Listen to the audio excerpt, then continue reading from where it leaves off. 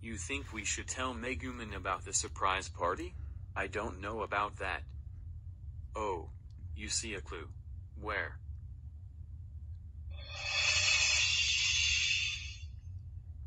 That glue has a golden paw print on it.